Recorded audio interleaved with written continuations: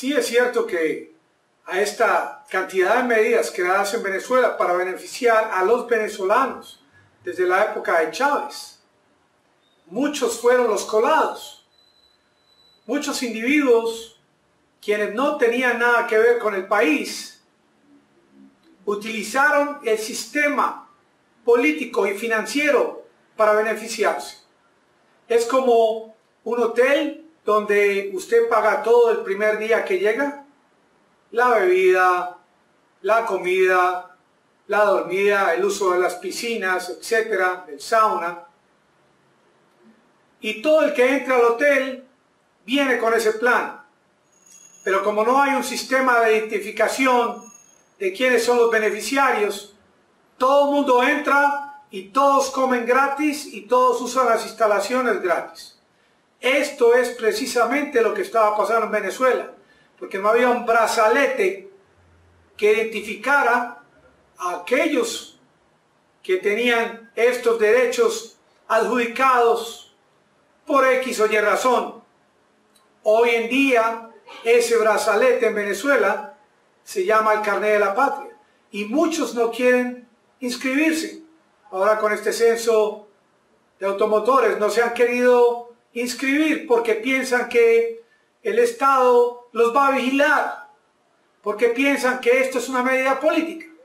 Sin embargo, el carnet de la patria es ese brazalete que el Estado va a utilizar para identificar a aquellos que son venezolanos y que van a poder tener derecho a subsidios del Estado para el consumo de la gasolina. Todos aquellos que me están escuchando, que no quieren obtener este brazalete, este carnet de la patria que tiene un QR que permite hacer transacciones inclusive, les va a tocar pagar la gasolina al precio internacional. Porque el presidente Maduro no va a permitir más que la gasolina de su país salga gratis por las fronteras. Es por eso que este miércoles, jueves y viernes, ustedes, los que no han querido inscribirse al carnet de la patria con sus automotores, es bueno que lo hagan para que se beneficien de estos subsidios que el gobierno les va a brindar.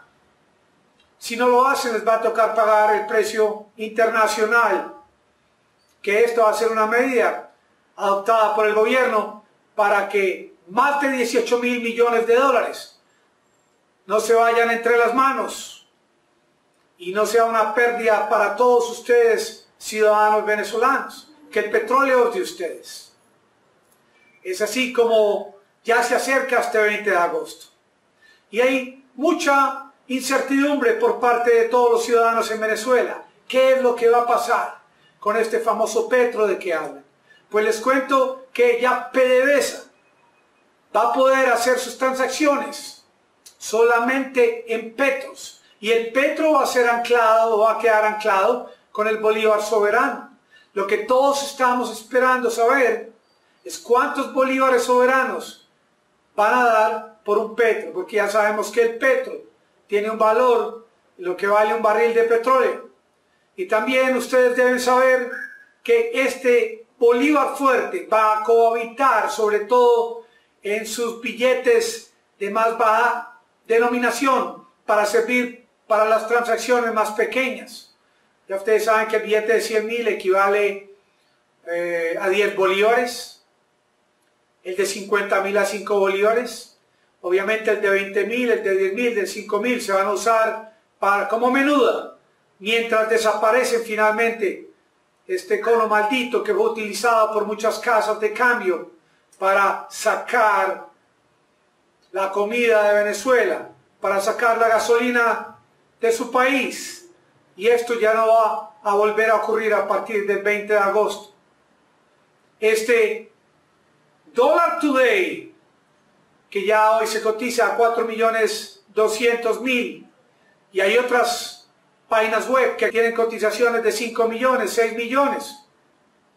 Todo esto va a desaparecer. Hoy en día y desde ayer mismo, casas de cambio como Italo Cambios, como Zoom, entre otras, ya están ofreciendo 4 millones 10 mil, lo que equivale a 41 bolívares soberanos. Es esa información que nos falta en esta ecuación de saber cuántos bolívares soberanos por petro, lo que necesitamos para que tanto ustedes que están allá como los venezolanos que están en los diferentes países vecinos sepan para ver qué es lo que va a pasar en la economía de su país, Venezuela. Lo que sí sabemos es que esta racha de especulación que venía ocurriendo ya se va a terminar, que todos estos empresarios que dependían de este dólar barato para hacer sus transacciones malignas ya no lo van a poder hacer. Y de que muchos de ustedes, remeseros que están en otros países, enviando a sus familias, a sus seres queridos, ya lo van a poder hacer a través de casas de cambio autorizadas por el gobierno. Esperemos pues entre hoy y mañana, hoy es martes, a ver si mañana al menos, ya el gobierno venezolano nos dice cuántos bolívares soberanos se va a dar por Petro.